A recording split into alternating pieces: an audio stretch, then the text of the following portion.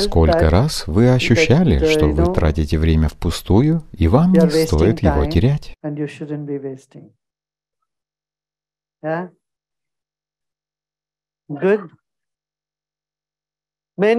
Много раз. Хорошо. Это значит, что вы растете. Вы очень удачливы. Смотрите, если вы чувствуете, что теряете время, и затем снова и снова решаете внутри себя, я не хочу терять время. Это означает, что вы становитесь все более и более осознанным. Это первое. С другой стороны, это также означает, что вы не воспринимаете жизнь серьезно? Не правда ли? Вы теряете время, потому что не воспринимаете жизнь серьезно. Итак? Стоит ли вам относиться к жизни чуть более серьезнее? Нет. Но the тогда вы будете терять время. И the в конце oh вы скажете, «О Боже, я потерял все свое время». Итак, следует говорить обе вещи. Следует воспринимать жизнь серьезной, так? Если вы не воспринимаете жизнь серьезной, вы будете терять время. "Да, Вы же чувствуете это, не так ли? Много раз вы говорили, я не хочу терять время. Ощущали это? Чувствовали подобное, да? Это хорошо. "I don't want to Когда вы говорите, я более не хочу терять время на все эти неважные вещи, это означает, что вы ищете что-то большее. Ваше видение расширяется. Вы берете больше обязательств для чего-то большего. Или хотите что-либо сделать. Так? И значит, вы уже потратили достаточное количество времени, правильно? Поэтому оглянитесь назад и посмотрите, Сколько времени вы уже потратили впустую на незначительные, неважные вещи в жизни. Просто представьте, что вы сидите на берегу реки, а жизнь подобна реке. Ваши стопы опущены в воду, ваши стопы в реке, и вы наблюдаете за потоком реки. Время движется. И оно принесло вам хорошие вещи и не очень хорошие вещи вместе с этим потоком, не так ли? Иногда вы запрыгивали в воду, иногда вода покрывала ваш нос. И все же каким-то образом вы справлялись. Время помогло вам плыть в сложные времена и в благоприятные времена. И вы прибыли к берегу. И до As тех пор, пока вы не забыли, что есть берег, за который можно держаться, где бы вы ни находились, вполне нормально играть в воде тут и там. Но если течение слишком сильное, или случился потоп, некий шторм, тогда ведь нет смысла быть там, не так ли? Что вам следует делать? Плыть к берегу, правильно? Забраться на берег, когда течение слишком сильное. Подобным образом и в жизни. Иногда мы должны играть. Нет смысла просто смотреть на жизнь все время, сидя на берегу реки, когда жарко, а вода такая прохладная и приятная. И вам так жарко, вы потеете.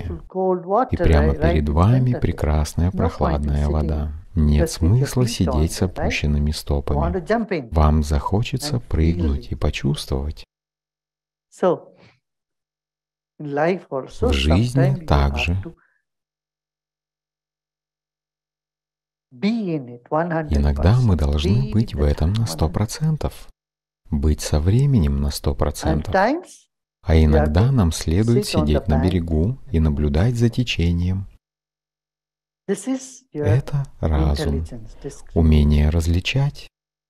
Так что в жизни, где нужно быть игривым и где нам нужно быть серьезным. Если вы воспринимаете жизнь слишком серьезной, я "Come on, скажу вам, ну же, не будь таким серьезным.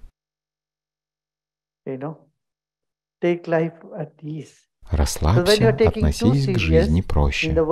Потому что, когда вы слишком серьезны в мирских вещах, вы тонете. Вы так расстраиваетесь. В этот момент я бы сказал, ну же, посмотри, жизнь подобна игре. Различные вещи приходят и уходят. Неудачи случаются. А когда вы провалились в чем-то, или когда вы чувствуете, что потерпели неудачу в чем-то, тогда следует воспринимать жизнь подобно игре. Когда вам кажется, что вы преуспели, достигли чего-то, as и даже тогда следует видеть No это как маленькую незначительную вещь.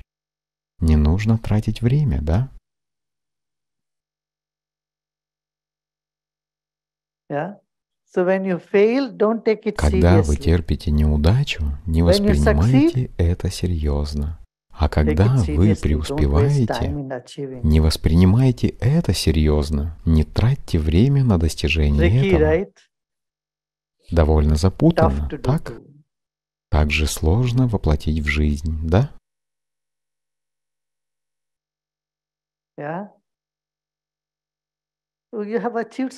What? Вы чего-то достигли. Ну и что? Не следует тратить время на достижение этого, так как это малозначительно. Ваш потенциал настолько большой, а вы достигли чего-то маленького, и затем бьете в барабан все время. Следует воспринимать жизнь серьезно, а когда вы терпите неудачу, не воспринимайте ее серьезной. Это игра. Это еще одна игра, хорошо? И двигайтесь дальше. Как вам? Будете ли вы воспринимать это серьезным лучше?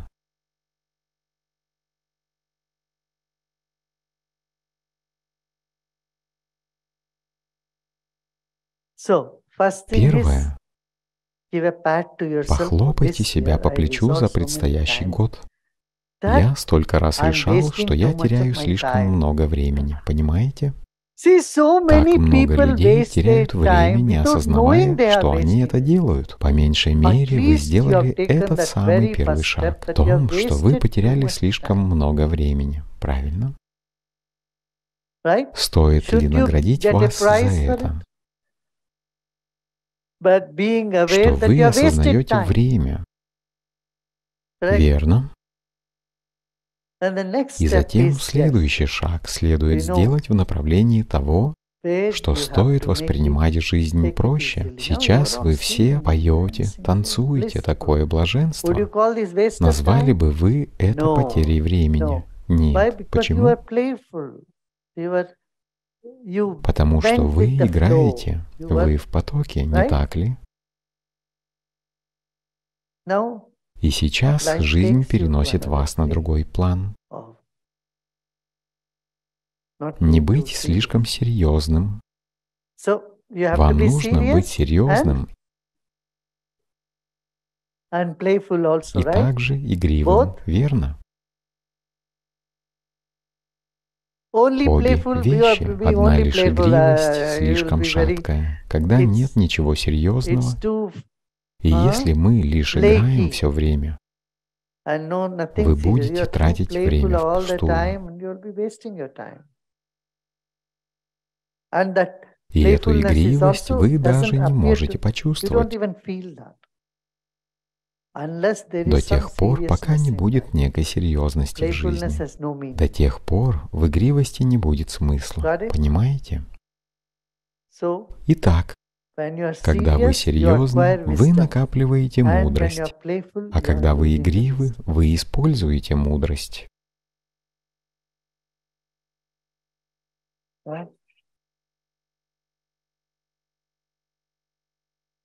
Вы не можете только лишь использовать без накопления, не так ли? Правильно? Yeah.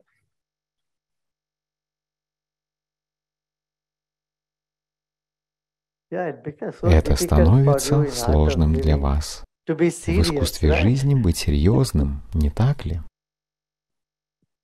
И вы говорите, о, почему так внезапно Гурудев изменил тон голоса? Он говорит так серьезно. Он раньше никогда не говорил так серьезно. Он говорит, Бог любит веселье, все весело, и мы радуемся и веселимся все время. Нет, сейчас проснитесь, данный баланс следует привнести в жизнь. Понимаете, поэтому мы начинаем каждое празднование с тишины. Многие из вас провели несколько дней в молчании. Или сегодня, или даже кто-то до сих пор в молчании, а кто-то собирается в молчании. Кто-то вышел из молчания, и мы празднуем. Празднование всегда было частью программ молчания, не так ли? Серьезность для игривости. Поняли? Вам следует быть серьезным, да? Такое странное утверждение.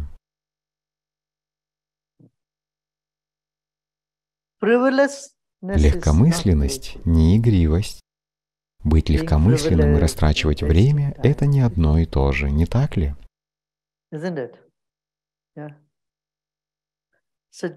Представьте, что вы сидите на берегу реки, и 22 год уже прошел. Хорошие моменты и плохие моменты все уже ушли, так? Вы находитесь на устойчивом берегу, и сейчас пришел другой Новый год.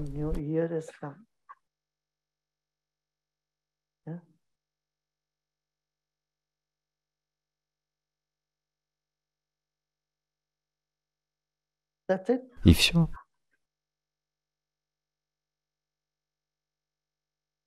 Те, кто никогда не задумывались, что когда-либо теряли время, они находятся в глубокой спячке. Или же они просветленные. Есть только два варианта. Либо вы просветленные, и тогда осознаете, что не теряете времени, или вы в глубокой спячке и невежестве, и вы не чувствуете, что теряете время.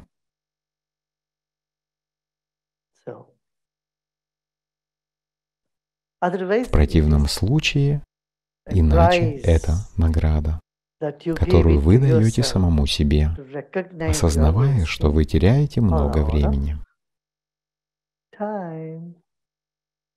И чем чаще вы ощущаете, что вы потеряли много времени в 2022 году, тем большую награду вы сможете получить.